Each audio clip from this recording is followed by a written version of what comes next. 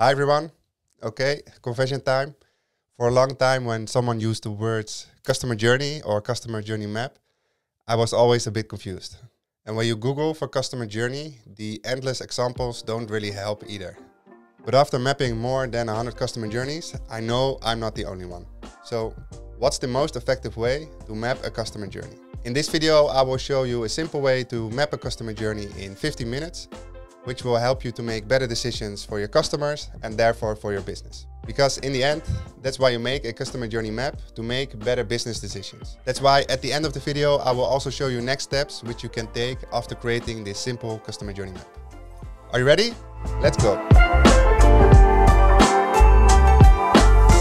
By the way, I'm Arthur, the founder of Workshop Wednesday, an online community that helps you to run high energy and result-driven workshops. If you don't know what a customer journey map is, it's a way to visualize how people get to know you and your product and how they then transform into prospects, into subscribers, and eventually into raving fans. There are a lot of customer journey frameworks out there, which can be a little bit confusing, but they all have the same basic steps in them. I'm going to give you my approach, which I use with clients in design sprints, and this will help you to create a customer journey map in 50 minutes.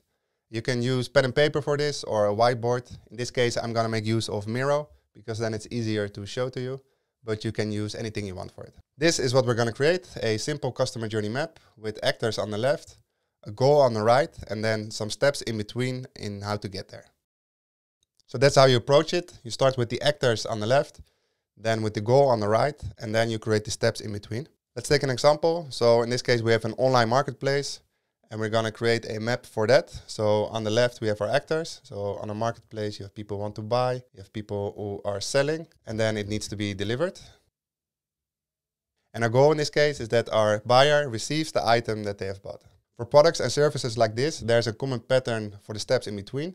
That's why you see the colored post-its in the top of the screen. But before we're gonna fill in the steps, we first have to make three small decisions. And these three decisions are, are we gonna make a current or a future state map? Are we gonna build on hypothesis or are we gonna do research? Or are we gonna do a low fidelity versus a high fidelity map? When creating your first customer journey map, I would go for a future state map hypothesis and low fidelity because then you can easily spot opportunities you can also decide then if you want to do more research. And based on that research, you can also decide to make your map more high fidelity.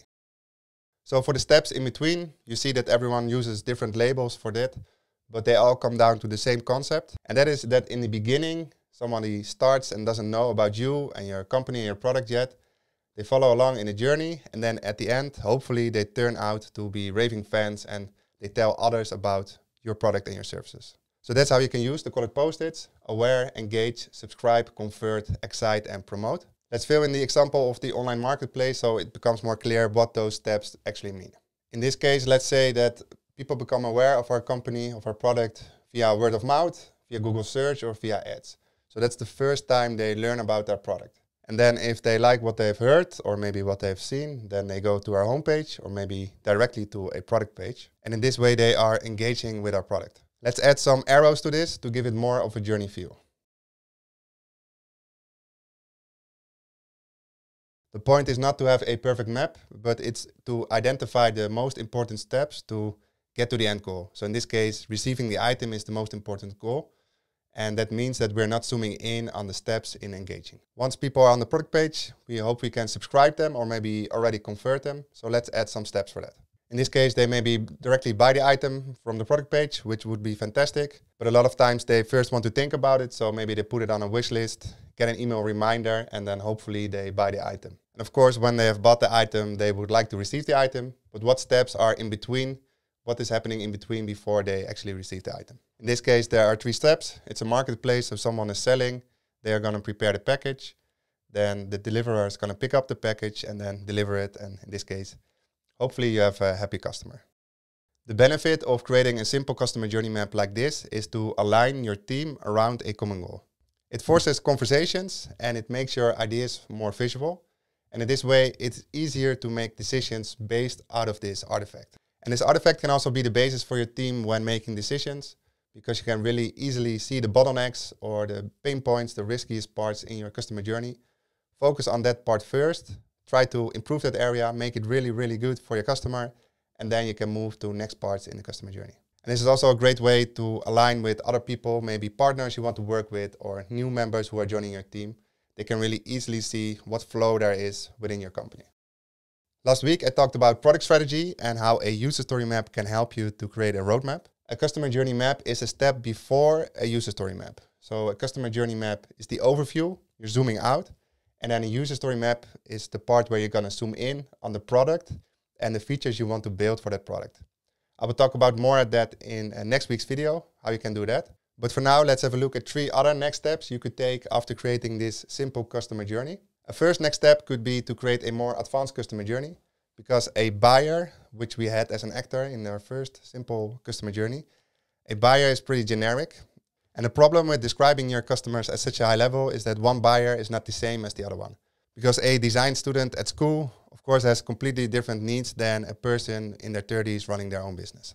The customer journey canvas is one way to make a more advanced customer journey. I will leave a link down below and I'll also create a future video on how to make use of this customer journey canvas.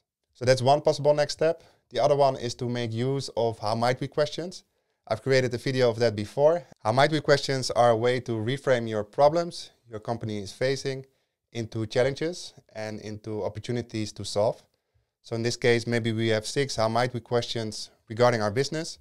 And what we can do is we can map them on our map and then easily spot the opportunities to improve.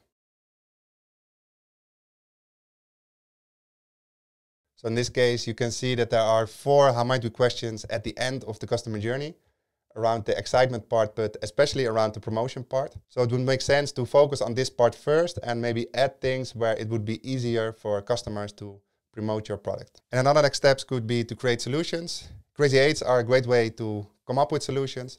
I've also created another video of that. The link is there and also in the description down below.